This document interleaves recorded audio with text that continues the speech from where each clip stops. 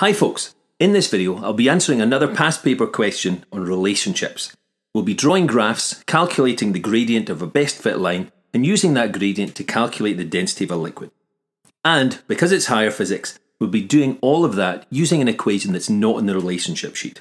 The question is from the 2018 CFE higher paper and it goes like this. A student sets up an experiment to investigate the pressure due to a liquid as shown. The pressure due to a liquid is given by the relationship P is equal to rho GH.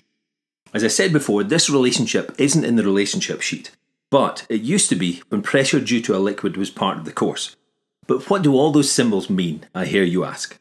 Well, lowercase p is the pressure due to the liquid in pascals, g is the gravitational field strength in newtons per kilogram, rho, that's a letter in the Greek alphabet, is the density of the liquid in kilograms per cubic metre, and h is the depth in the liquid in metres. What happens in the experiment is that the glass tube is moved downwards in the liquid and the pressure is measured at several depths below its surface. Here's part A of the question. The student initially carries out the investigation using water. The density of water is 1.00 times 10 to the power of 3 kilograms per cubic metre. Calculate the pressure due to the water at a depth of 0.35 metres. Now the whole point of this question is to see how well you can manipulate unfamiliar equations. And this one's fairly straightforward. The only thing we'll have to do here is look up the value of g in the datasheet at the front of the exam and plug it into the equation along with the other values. No rearranging required. So if we get a bit of space, we can write our equation, then substitute our values, giving a pressure equal to 1.00 times 10 to the power of 3 times 9.8 times 0.35 which is equal to 3.4 times 10 to the power of 3 pascals. Next up, it's the bit we all love to hate drawing a graph. Part B says the student repeats the experiment with a different liquid. The pressure meter is set to zero before the glass tube was lowered into the liquid. The student takes measurements of the pressure at various depths below the surface of the liquid. The student records the following information Using the square ruled paper on page 43, draw a graph of P against H. It also says that if you mess up your graph, that there's another piece of graph paper in the page after that, although not in those exact words. Bring on the graph paper, or square ruled paper as they're calling it here for some reason, and let's have some more space. We'll start all the way down at the bottom with a scale on the x-axis. Since we're asked to graph P against H, P, the first thing mentioned, should be on the y-axis and h, the second thing mentioned, should be on the x-axis.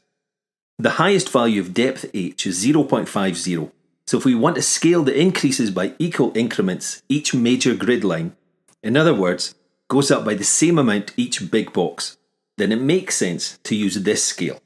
We'll also need a label together with the units. The maximum value of pressure is 6.2 kilopascals, so this is the most suitable scale for the y-axis. Don't just take my word for it. Print off the question from the 2018 paper and try the graph yourself. Again, we'll need a label and units on the y-axis too. I know you can't quite see them fully, but you will soon. Our next step is to plot the points, and you should be doing this with a small x rather than a dot, as it'll be easier to see the x's once you draw the best fit line, whereas a small dot could easily be drawn over and lost forever. The poor thing. Let's take a look at our handiwork then. Beautiful. Now, if we move that down a bit, we can see all the points and can draw our best fit line. So, what do you reckon? Is the best fit line going to be a straight line or a curve? Press your buttons now.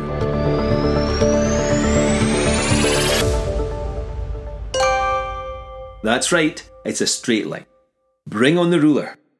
Now, if only that was a see-through ruler, it'd be far easier to judge where that line should be drawn. Thank you so much. What you want then is a straight line which follows the trend of the points you've plotted. Move your ruler about and try to get roughly as many points above the line as below it. Something like this would do. So, if you've lost count, that was B part 1. Here's part 2. Calculate the gradient of your graph. To do that, we use this equation but it's important to use two points in the best fit line, and they don't necessarily need to be data points. Luckily for us, these two points are on the line, so we'll use them. We can then substitute the x and y values of the two points into the equation like so. Notice that I've substituted the Y values, that's pressure, in pascals rather than kilopascals because the pascal is the SI unit of pressure. That gives us an answer of 12,333 or 12,000 pascals per metre. The marking scheme for this question allows you to leave out the units for the gradient, but I've written them in. Since the gradient was calculated by dividing pressure in pascals by depth in metres, it's not difficult to work them out. The final answer was written to two significant figures, since it was calculated using pressure and depth values, which were also written to two significant figures. Here's B part 3, which asks us to determine the density of the liquid. If you've not realised it by now, each new part of the question tends to rely on the answer to the previous part. B part 2 asked us to calculate the gradient of the graph we drew in B part 1. So the answer to B part 3 will no doubt be related to the gradient we've just calculated. Here's the equation we started with at the beginning of the question, and here's the equation of a straight line. y is equal to mx plus c.